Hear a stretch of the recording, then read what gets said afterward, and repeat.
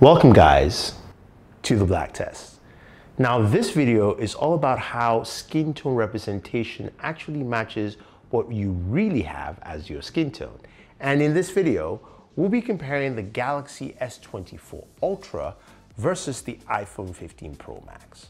Now, one thing that really amazes me is whenever I share a photo comparison on say Instagram and I ask people which looks best, I get so many different types of responses. Some of them say, hey, the iPhone may look more natural or looks like you, or some may say the Galaxy has a better representation or has maybe slightly more colors or is punchier.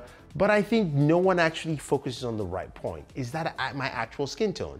Is that how I really look on this, on this device? Is that how I really look when I take a photo? And I think that's really important because especially for a lot of people of color, we don't get a lot of good representation for how we look in a lot of smartphone cameras. And I want to see if these two devices actually get close to that mark when we're actually taking photos. So you're gonna join me on a very different camera comparison where I'll be looking at how close my skin tone is represented on each of these two devices and also with a few other people.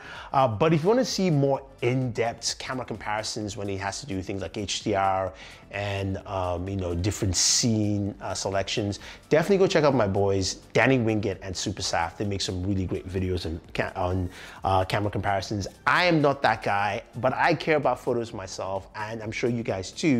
So this hopefully will give you a good idea. So let's start off with the first set of photos and see what we have. This is what my skin tone looks like. This is a screen recording of the S24 Ultra and the iPhone 15 Pro Max, giving you a, an idea of where our baseline should be. You can see there's a lot of separation between different levels of what my skin tone should be.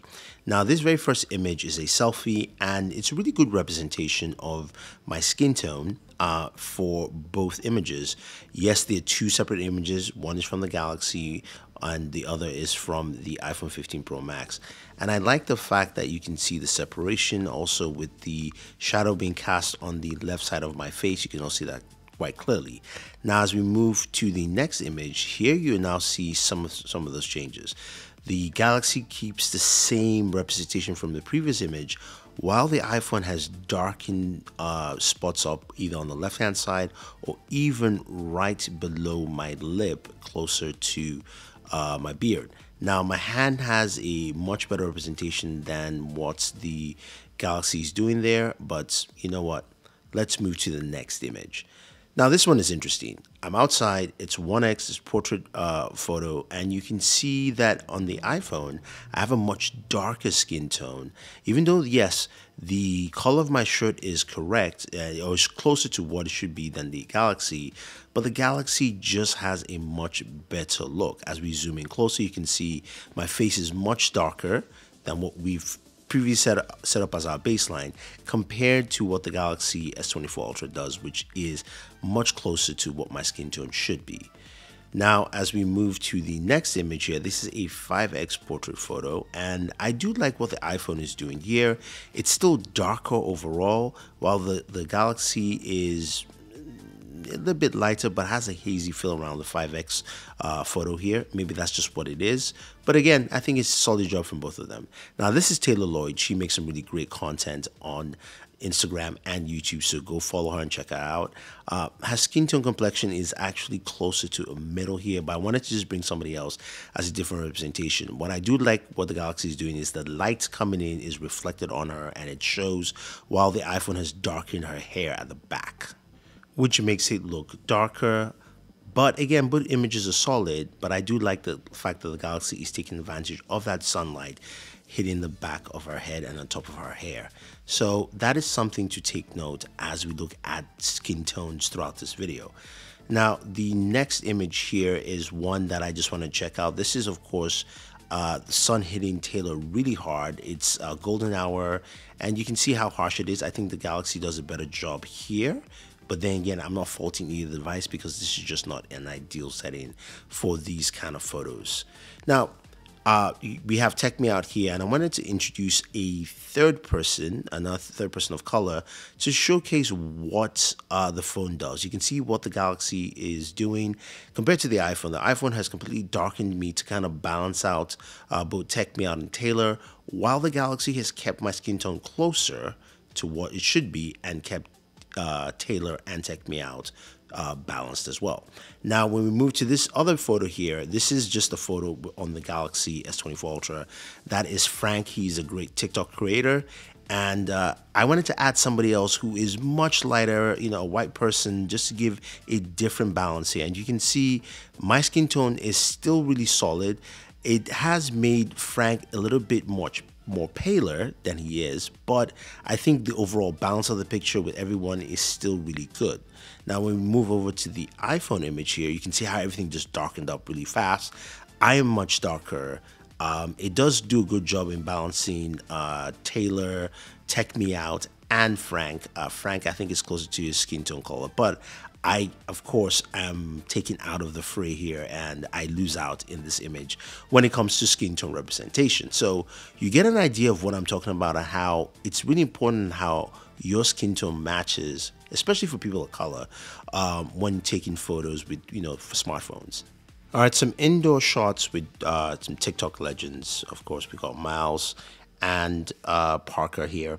And you can see that, of course, this low light image um, I think everyone's reputation is pretty solid. I think the iPhone does a better job here than uh, the Galaxy. Galaxy I do look a little bit darker, but I think it's it. They've both done a really good job in trying to balance out in the lighting condition. Now here's another shot, low light outside, taken by uh, Tech Me Out and Taylor. I think here the Galaxy has done a better job in balancing them out. I know the other second image felt a little shaky, but you can see just uh, just on the skin tones, they look a little bit darker there than they usually do. Moving to an indoor night shot with, of course, a lot of lighting.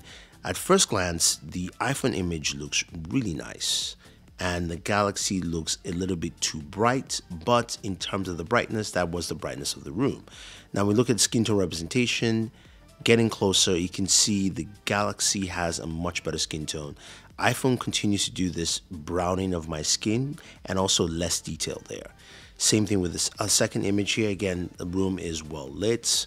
Um, and uh, in terms of just general image composition, they both look pretty good. But as we go ahead and we move closer and zooming in, you can see again, I have just one shade of color more on the iPhone, which is all brown, while the Galaxy is more detail and more separation of colors. Now, this shot here was interesting. I wanted to do something indoors, uh, wear uh, some a little darker clothing, and you can see right there the iPhone has made me just darker. I look just one shade of brown as opposed to having a lighter and darker, you know, skin patches, if you will. Same thing with this other shot here. That first shot was in 1x. Uh, this here was a 2x shot.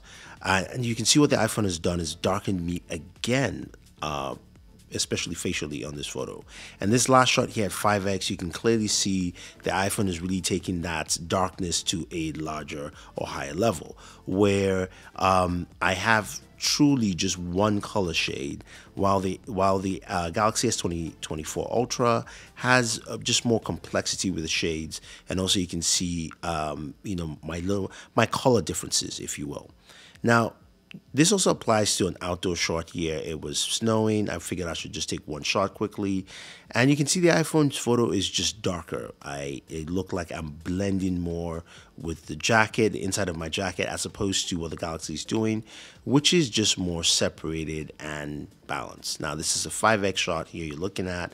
And this shot here, um, I think it's solid. It's cool. This is on the Galaxy S20 24 Ultra. As we look at this shot, we can see that, yes, my skin tone is going to be darker because of the distance. Um, it's not as bright. Same thing here with the iPhone. Uh, I think both images look very similar. And again, my skin tone is a bit darker. I actually prefer this over the 1X image uh, from the iPhone itself. So overall, I think the Galaxy does a better job at representing my skin tone. Now the iPhone uh, 15 Pro Max tends to darken my skin tone quite a bit, but it's an easy fix and something that, you know, when you go into the Photos app and you hit just auto adjust, it actually goes ahead and it does a much better job. So I think it just needs a software tweak. But that is what I have right now, and hopefully, you guys enjoyed this video. If you think that I'm wrong, leave your thoughts down below. If you want to see more videos like this, uh, more of the black test, uh, let me know, guys. I will keep on doing it. Otherwise, don't forget to like, share, subscribe, and always enjoy your entertainment.